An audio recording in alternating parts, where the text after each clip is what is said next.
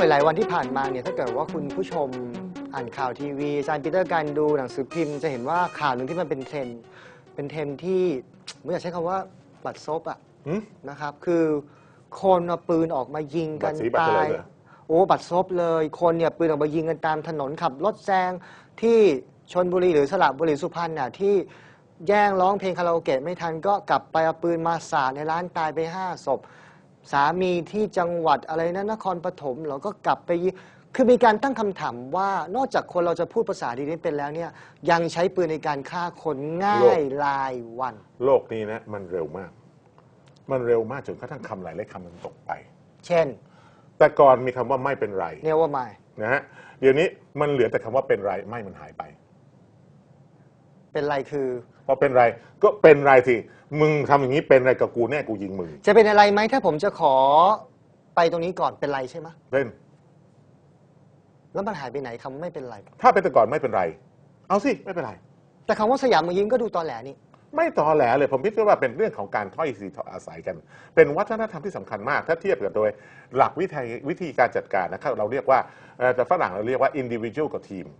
ฝรั่งเนี่ยนะครับเราพยายามจะเข็นเรากลับไปที่คำว่า individual เอ้ยเป็นกรุ๊ปไม่ใช่เป็นไม่ใช่ individual เป็นกรุ๊ปแทนที่เป็นทีม เพราะเขาบอกว่าประสิทธิภาพมันสูงกว่า เนื่องจากสมมติว่ามีงานอยู่งานมีคนอยู่กรุ๊ปกรุ๊ปหนึ่งสิบคนนะฮะแบ่งงานเท่าเท่าๆกันทุกคนแยกมารับผิดชอบ แล้วทุกคนต้องกลับมารวมตัวกันนะ แต่ทีมเนี่ยเป็นวัฒนธรรมไทยครับ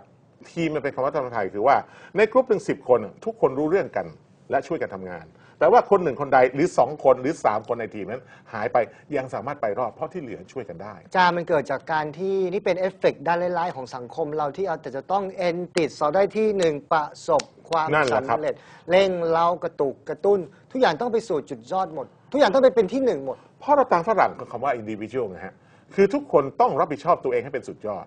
นะไม่ครับ แต่ individual ของฝรั่งมันเหมือนกับว่าเขาเขามีอีกความหมายหนึ่งคือเหมือนกับว่า เป็นอีดิวเดอร์ที่เป็นตัวตนชัดเจนอะไรอย่างเงี้ยเหมือนเข้าไปในผับบาร์เขาก็จะกล้าที่จะเข้าไปสั่งเครื่องดื่มที่เป็นแบบของเขา แต่ว่า individual ของไทยมันเหมือนเป็นอีโก้ป่ะอะผมดูง่ายๆบอลไทยบอลฝรั่งครับอันนี้ง่าย ๆ เลยบอลไทย individual หรือ teamwork บอลฝรั่งกับทีมเวิร์ก